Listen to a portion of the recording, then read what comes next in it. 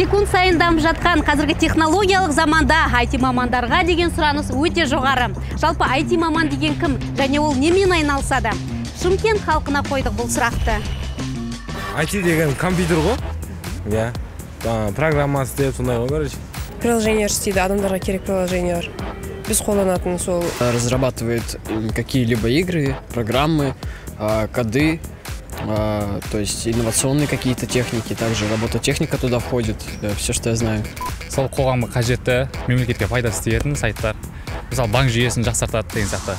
Халыққа қызмет көрсетуін қолайлы етеді соны егов дейді сом дейді. Барлығы былай енді қарап отырсаң барлығы жамандайды вот бірақ бізде ондай дүние еш жерде жоқ. Біз талай шетелдерде болып жүрік қой. Екі үш күн деп кетеді саған қағазын алу үшін не үшін. Міне осы техорта бағдарламасы арқылы бітірген студенттерді өзімізге жұмысқа алып бізде алда қазір үлкен жоспар бар. Яғни ол біз юнесконың алдында қорғадық ол проектті ол виртуалдық музей деп аталады. Яғни бұл виртуалдық музейдің ең басты мақсаты қазақ тарихындағы өткен оқиғалар мен мұражайларды осы музейге кіргізу. IT маман білмеймін айтишник. Программист либо создатель каких-то программ, наверное, не знаю. IT білмейсіз ба маман мына кісі біледі ғой сәлеметсіз ба сізге бір сұрақ қоюға бола ма? IT маман деген кім? Және ол немен айналысады антимаман? IT IT айтишник. IT маманы көп нәрсемен айналысады. Программа жасаумен а, робот техника бағыттары бар. А, жалпы салалар көп.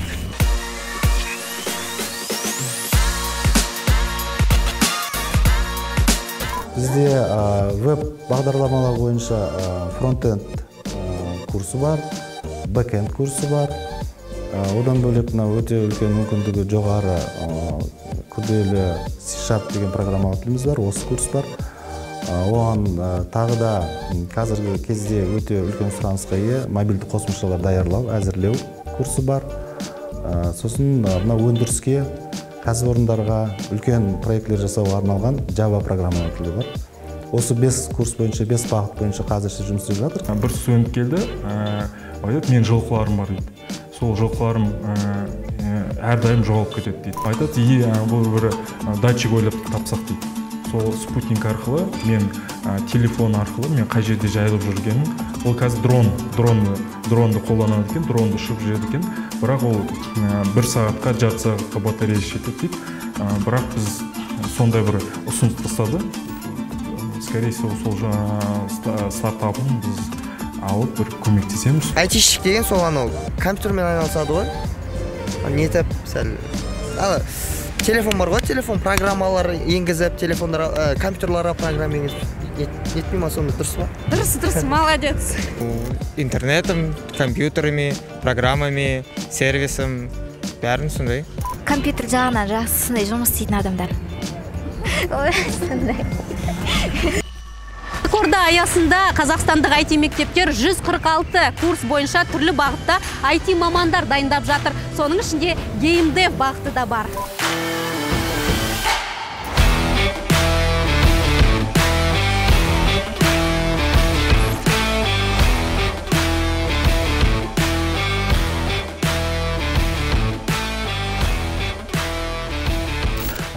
бұл мектептің ашылу себебі біз өзімізге мамандық дайындау ретінде ашқанбыз кейін ә, сол техорда бағдарламасы гранттар бөлініп жатқанын біліп ә, ұсыныстар беріп сол бізде қазір екі бағыт бойынша студенттер оқып жатыр бірінші бағыты ол 2D 3D анимация екінші бағыты геймдев бойынша В конце курса у них у каждого будет готовая игра, которая уже выставлена на продажу. А то, что я говорю, они уже смогут на этом, ну, небольшие, конечно, деньги, но зарабатывать. Ну и дальше больше. яғни геймдев арқылы тек қана ойын шығарып қоймай сонымен қатар ә, виртуальный тур виртуальный кабинет яғни үлкен компанияларда заводтарда осы ә, қолдануға болады. Яғни бізде шымкент қаласында екі мыңға жуық товар өндірушілер бар. Яғни солардың арқасы соларға өте көп сұраныс болып жатыр. Шоу Ирины Қайратовны бұл топтың Т-қордаға қатысы қанша дейсіздер ме? Ирина Қайратовнаның клиптеріндегі анимацияны жасаған адам Шымкенттегі IT мектепте IT мамандар дайындап жатыр.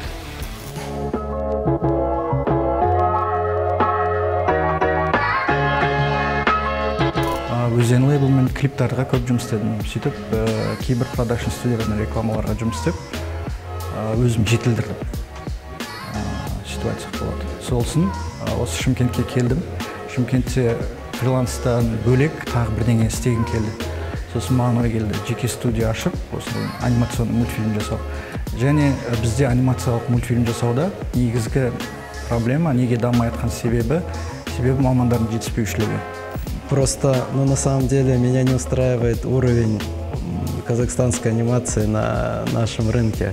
Да. Но я не буду ругать, но в целом не устраивает. Мы хотим сделать ее лучше. міне сол мәселені былай өзіміздің шамамыз келгенше толықтыру үшін осындай обучение. Неге бастамасқа неге көмектеспеске деген ой келді. Тұрғыда негізі бірақ мамандығым юрист. Медик болғанды армандағанмын. Бала кезімде футболист болуға армандадым. Бала кезінде мен көбінесе әскери саласында қызмет жасағым келеді. Себебі айтида өзің опытыңға қарамайды және де өзің көкейің әкең бар екеніне қарамайды да өзің қандай специалист екенін тексер көтілдіре алсаң соншама ақша ала аласың да ше өзіңнің біліміңе қалады. Былайша айтқанда енді барлық нәрсе сол. Әл ауқатымызды жоғарылату үшін ғой. Адамзатқа деген бір пайдамды алып келу. Ә, және де мен өзім ойлаймын технология арқылы ә, мысалы ә, көп нәрсені шешуге болады. Осы бүкіл геймдер саласында хидетака миядзаки деген мықты японның гейм дизайнері бар. Және де соның ойындарын ойнаған кезде сезінесің да осы жай ғана ойын емес өзіңнен өзіңе испытание испытание дейді ғой. Содан өтіп отқаныңда әр әр ойнап отқан сайын жаңа опыт алып отырасың да. Михаил ламтадзе деген кісі бар. Ол программист емес бірақ ол тек қана қазақстан деңгейінде емес әлемдік деңгейдегі бағдарлама шығарып шыға- жасап шығарды. Және де оны өте қолайлы және ыңғайлы қылды. Немесе мынау снг айналасында павел дуровты айтуға болады. Өйткені снг бойынша ең ауқымды жобаларды дайындаған менің ойымша сол кісі. Өзім ұстазым менің әкем. Э, сол кісінің арқасында мен айти саласына келдім деп ойлаймын.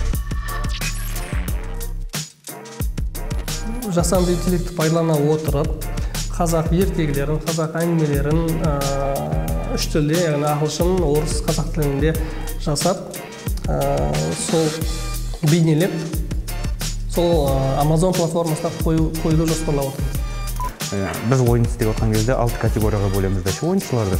Біреулер стратегияны ұнатады біреулер экшн ұнатады біреулер осы ойынның ойында не бар екенін және де эксперимент эксперимент жақсы көреді да ше және де сол әр алты алты тип ойыншыларды бір ойынға алып келгім келіп тұрады және де сондай ойын істегім келеді жалпы курсты мектепте балдарға білім беруді қазақ тілінде ұйымдастырсақ қазақ тілін дамытсақ қазақ тілін осы ақпараттық технологиялар саласы бойынша жалпы терминолог- терминологиясының қалыптасуына лингвистикасының қалыптасуына дамуына өз үлесімізді қоссақ деп отырық Э, өзімізді шымкент қаласын э, разработка геймдев деген столица геймдев деп шығарғымыз келіп жатыр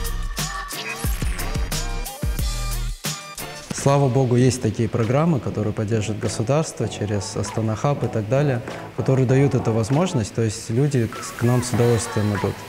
шымкентте де жақсы дамып жатыр негізі бірақ көбісі астана алматыға кетіп қалады но в целом өте зор бәрі бұл бағдарламадағы ең жақсы бір маған ұнағаны мынау бізге сабақ беріп үйретіп жатқан өзіміздің оқытушыларымыз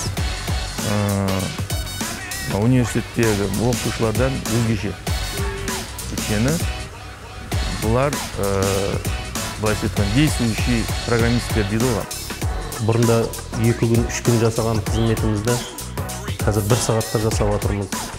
Ә, уақыт үнемдеп жатырмыз.